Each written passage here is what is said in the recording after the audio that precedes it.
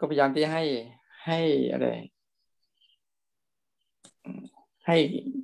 ให้อุปมาไปอะ ให้อุปมาไปให้นึกถึงว่าข้างในเราอะ มันก็จะมีสภาพของวิถีชีวิตแบบนั้นแหละ ที่ฟังฟังจิบเล่ามาหรือทุกคนก็ตาม จะเจอกับมรสุมชีวิตตลอดนะเหมือนอารมณ์บางครั้งก็ขุนบางครั้งก็ใส บางครั้งก็เกลี้ยวกราดบางครั้งก็ราบเรียบ บางครั้งก็สงบนิ่ง นั่นเป็นเรื่องของคลื่นที่จะมากระทบชีวิตเราเราอย่าไปเมื่อก่อนเราหวั่นไหวกับมัน ไม่ว่าจะมาแบบไหน เราก็จะหวั่นไหวกับมัน จนเราลืมฝั่ง ลืมฝั่ง ลืมที่อยู่ของเราเอง แต่ปัจจุปัจจุบันนี้เราได้กลับมาอยู่กับ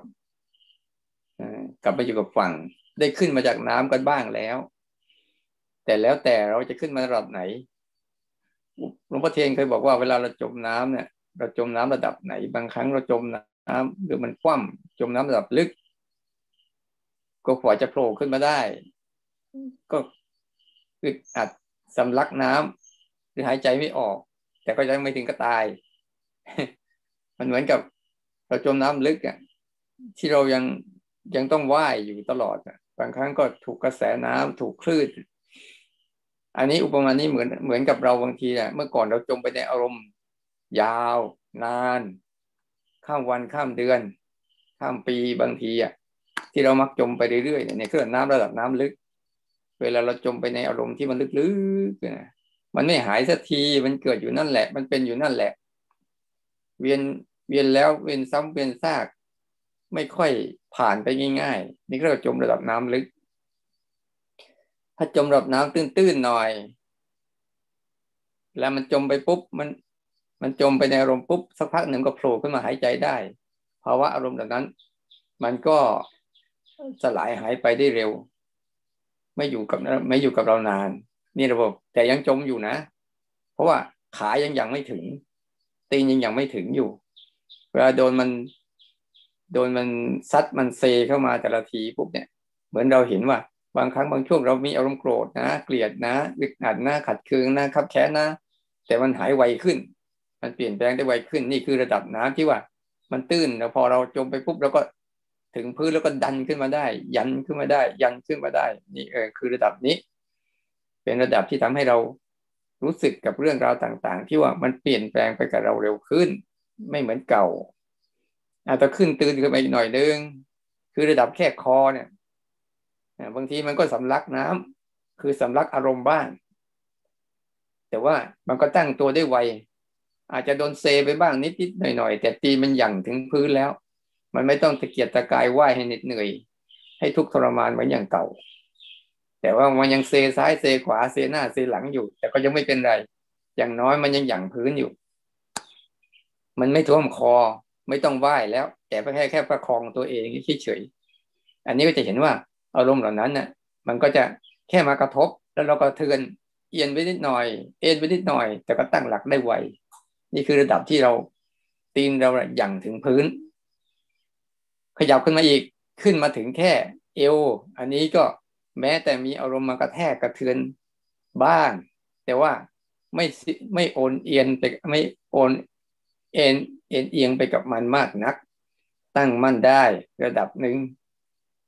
แต่ยังมีแรงกระทบอยู่ ยังมีคลื่นกระทบอยู่เสมอเสมอ แต่ก็ยังพอยังพอประคองตัวเองได้ นอกจากคลื่นแรงๆก็เซนิดหน่อย แต่ประคองตัวเองได้เร็ว ตั้งตัวเองได้เร็ว เหมือนคนที่เจอภาวะวิกฤตของชีวิตที่เกิดขึ้นมา แต่กลับกลับลุกขึ้นมาตั้งตัวเองได้เร็วขึ้นกว่าเก่า ไม่เหมือนระดับแรกๆที่เราไม่ได้ฝึกพอขึ้นมาระดับที่มันตื้นถึงถึงตะตุ่มบ้าง เข่าบ้าง มันก็แค่รู้สึกว่ามีบางสิ่งบางอย่างมากระทบเฉยๆกระทบเฉยๆแต่จิตใจไม่ได้หวั่นไหวไปอะไรเพียงว่าเราขึ้นถึงฝั่ง เราก็แค่นั่งดูมันความรู้สึกเราก็แค่นั่งดูมัน เราไม่ได้เปียกน้ำไม่ได้นั่นแล้วเราขึ้นถึงฝั่งก็แค่นั่งดู นั่งดูอารมณ์มันมากระทบกับจิตใจเรา จิตใจเราก็ไม่ได้หวั่นไหวไปกับอารมณ์ที่มากระทบอยู่เรื่อยๆนี่คือระดับมัน แต่ที่เราฝึก เราฝึกรู้สั้นๆ สั้น ๆ เนี่ย มันจะอยู่ในระดับของอของเอว ของแข้ง ของตะตุ่ม เพราะว่ามันจะทำให้อารมณ์เนี่ยมันโฟล์ขึ้น มันมันไหลผ่านเราได้เร็วขึ้น เรื่อยๆ ไม่ติดไม่ปักไม่จมนาน เพียงแต่มาแล้วก็ผ่านไปมาแล้วก็ผ่านไป จึงใช้อุบายให้การฝึกว่า ให้มันรู้สั้นๆไว้